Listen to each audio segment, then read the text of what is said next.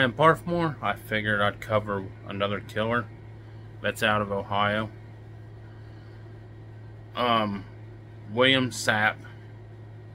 Is born William Kessler Lilly, March 22nd, 1962.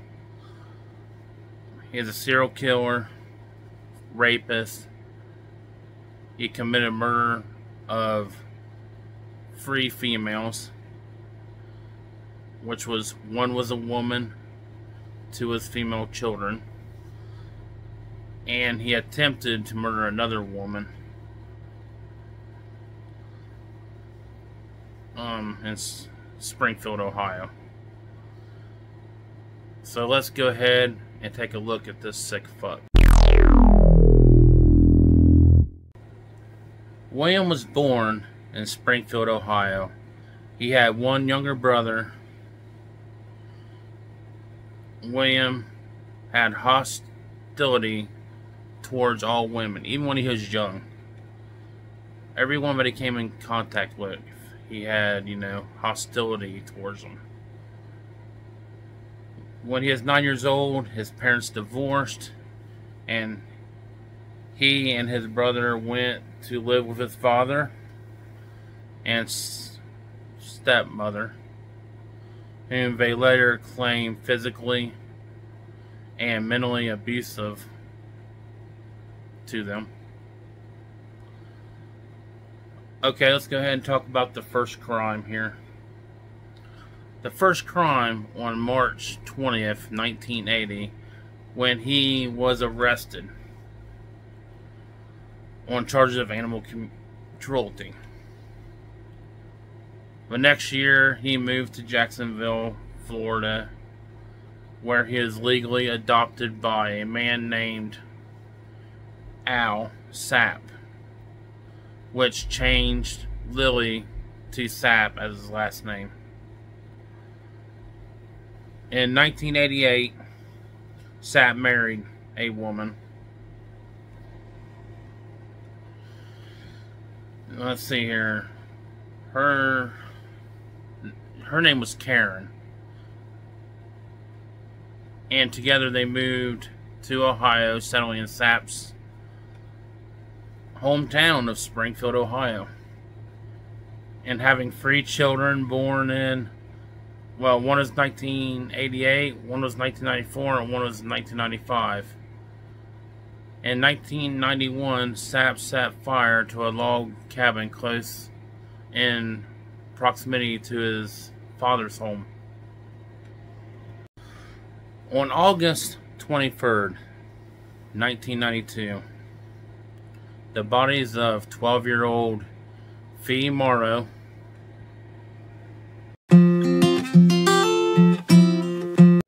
and and her best friend Martha Leach. Let's look at another picture.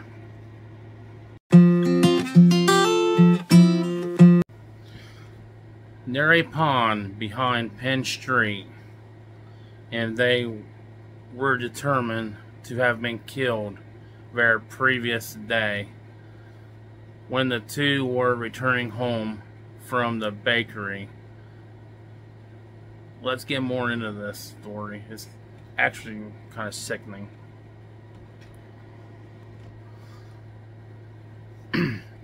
the girls went to Schuler's Bakery together at about the, the two friends of Sapp and David, I want to say it's Mark Quinsky and David's stepson, John Bowser, were seen near the bakery. Martha entered the bakery with an unidentified man. She purchased some cookies and donuts. The identified man paid for her order, and the two of them left the bakery. Ralph DePriest, David's nephew, witnessed the murder of Fee and Martha when he was only 14 years old. Now, this is crazy, guys. This is freaking crazy. DePriest was at the, well, David's house, the McQuaski or whatever their name is, Marquesti residence with Wanda, who was David's wife and Bowser's mother. Bowser entered the house and said, Mom, I'm in some trouble. DePriest and Wanda went outside, got in the van with David and Christopher. Well, Christopher Bibbs. They drove to an area near the pond, which laid right behind Schuler's Bakery. When they arrived, DePriest described the girls as being all messed up. DePriest watched as Sapp, David, Jamie Turner, and Bowser rubbed the girls' private parts. DePriest DePriest participated After they had this for a while, Wanda told them to kill the girls. Which is messed up. Bowser and David hit the girls with rocks. DePriest saw Sapp well pick up a large rock, lift it over his head, DePriest said as he turned his head away before Sapp brought the rock to the ground. Well, the rock down. Sapp threatened to kill DePriest if he ever told anybody what he had seen. Sapp, Bowser, David, and Turner. Man. Then moved the bodies a short distance from the pond to a nearby hill. Well, I know where the hill is and everything. It's Penn Street Hill and everything. They covered the bodies with branches, skids, and leaves. But next day, feed. Well, the next day, Fee had a rock on her head in the part of a large storm drain sewer. Locally, locally known as the Lion's Cage. Sorry about that, dry throat. Police found a bicycle, brick, and pairs of shorts, which later on was identified by um Fee's mother, but it was her shorts she was wearing the day of the murder and everything. Well, this is after they found the body. They were finding all this other stuff. They found a, I know they found a bicycle, but the shorts, you know, were like tore with something sharp and stuff on the sides. You know, like where they're like braced together, like stitched. So like they, the bicycle was found there. The possession of the two girls outside Schuler's Bakery. Their bodies were found the next day after the murder. Like I said, yeah. The shorts were examined by Tiffany Shepard, a police forensic criminalist. They had not been torn, but they were disassembled them by cutting the seams with a sharp instrument. Which Sapp, I think, later on confessed is like a surgical knife that he took from his mom or mother gave him and stuff. Autopsy revealed both Fee and Martha had died of blunt head trauma. Fee had been struck in the head at least six times, Martha three times. The skulls were both, well, the skulls of both girls have been fractured by blows having an impact equivalent this this is sick, guys. To that of a free fall from a second story window.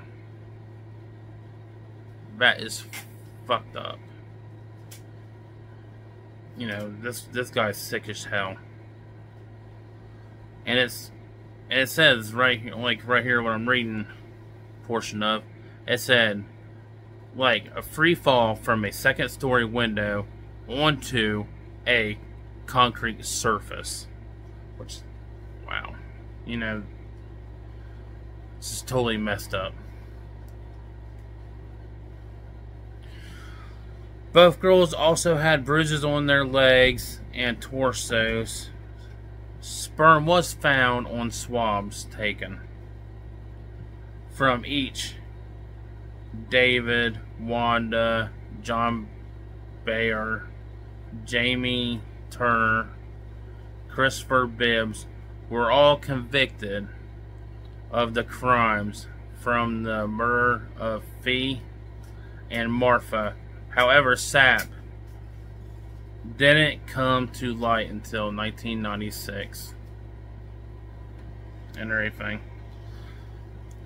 In September of the of that year, sheriff detectives from Jacksonville, Florida came to Springfield, Ohio to question Sapp about an unrelated matter. Sapp made an incriminating admission about an assault on Hazel Pearson, whose pants had been cut off in the same matter as Fee Shorts Sapp confessed to murders. Sapp confessed to rape also. He made Fee roll over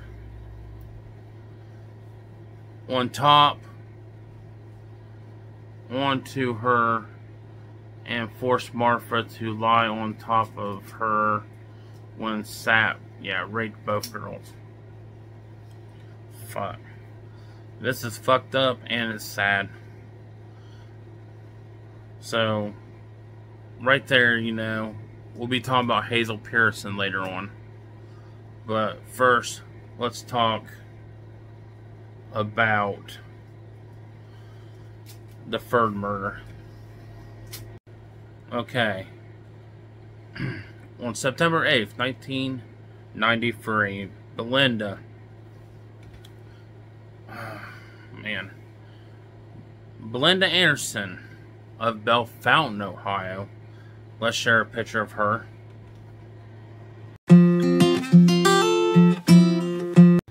She was staying at her sister's house. Well, with her sister, Deborah, in Springfield, Ohio. At 5:20 p.m., Deborah left the house to visit her parents and returned at 6. When she returned, she found Belinda had gone out, leaving a note. Deborah never saw her sister again. Nearly two years later, July 8th, 1995, Belinda's Anderson's body was found buried on a dirt floor, under a dirt floor, in a garage. In 1993, the house was vacant for several years. Anderson's body had been placed in a plastic bag and buried in a shallow grave. With the feet sticking out. She was wearing a shirt shoes, socks, but no pants. An autopsy showed Anderson had died of multiple trauma to her head and neck.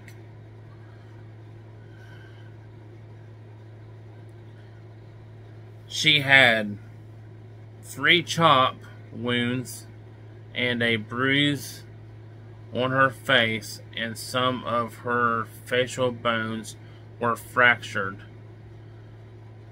A blow to the back of Anderson's head had lacerated her scalp. Man. And and braided the outer layer of the skull. Each injury had been inflicted before death. It was not possible to test for the presence of sperm or semen. Sapp confessed to police. Sapp said he had met Belinda Anderson for the day, for the first time, on the day he killed her. According to Sapp, Anderson agreed to have sex with him for $40 and led him to the garage, which they entered for a hole. Sapp claimed that he paid her in advance and that she began to perform sexual acts on him. But she stopped, saying that she had changed her mind and wasn't doing the rest. I guess Sapp determined a refund. Anderson started to leave. He reached down and grabbed her, and she hit him. Sapp grabbed Anderson by the throat. She resisted. He threw her against the wall. He picked up a length of pipe and hit Anderson in the head. She dropped. She started to get up, threatening to call the police. He picked up a piece of metal and hit Anderson several times because she wouldn't shut up, Sapp described to police. He remarked, How many times you gotta hit a person before they stop? Wow. Wow, guys, this, this is crazy. Sapp tried to... Okay. Now let's go to this, the last woman here. Where Sapp tried to kill another woman. Let's start talking about Hazel Pearson. I couldn't find a photo of her and everything, so here's what happened to her. We'll tell you what happened to her.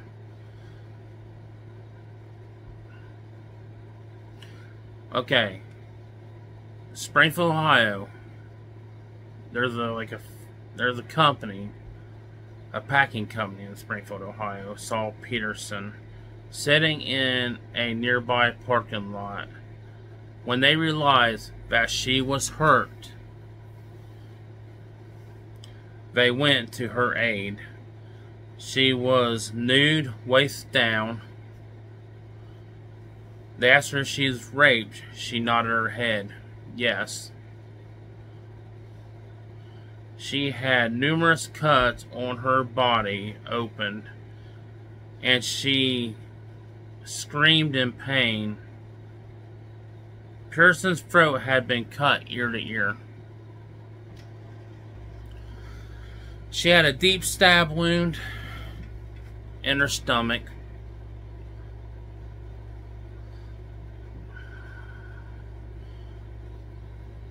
Um, they said the base of her nose was an open wound. Jaw fractured at the base of the eye, lacerated and stuff, bruised, lacerated scalp brain injuries, fractured skull, belly bruised face, and body. When Pearson woke up in the hospital, she noticed that her watch was missing.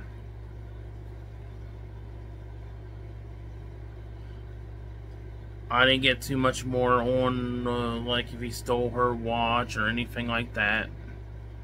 I didn't get into any of that. I don't know what exactly happened because it's kind of stopped right there. then it says, you know, you know, Sapp made the confession to the police. Sapp admitted that he had raped Parson and tried to kill her. Parsons Parson complained to Sapp that her boyfriend was in a bar with another woman. Pearson had walked out of the bar after some words and a little push contest. Sapp and Pearson walked together until they reached some railroad tracks. Sapp said they kissed and messed around a bit, but Parsons said, Why is it that all men got to hear that stubble shit? Just like Butch and she slapped Sapp. Well, Sapp assaulted Pearson. He beat her with, wow, a piece of steel cable. Kicked her repeatedly and stabbed her in the stomach. At the point, Sapp removed Parsons' pants and had intercourse with her without ejaculation. Without, yeah, ejaculating. Cut the pants. I guess this must like a trademark. Just like the others off Pearson. You know, with the knife, surgical knife down the sides. Man.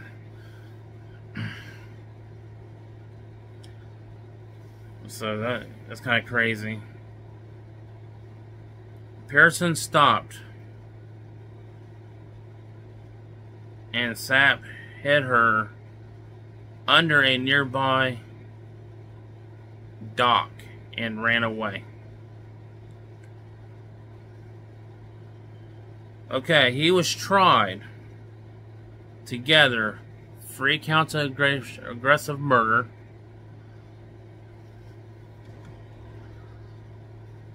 Um, he got charged with rape, um, kidnapping, attempt of aggravated murder, 27 counts against him he got charged for. But guess what, guys? This sick fuck got what he deserved. He got the death penalty. There ain't no life in prison. He gets the death penalty. But, guys, this actually was a sad one to talk about and everything, but I figured, you know, I'll do this one because I noticed nobody else really did it. But remember to follow me here on YouTube and hit that like button and everything. If you actually like this, hit the like button, the thumbs up. So I know that you guys like it. And I've tried to do more here. But remember guys, keep exploring. Stay safe out there and peace.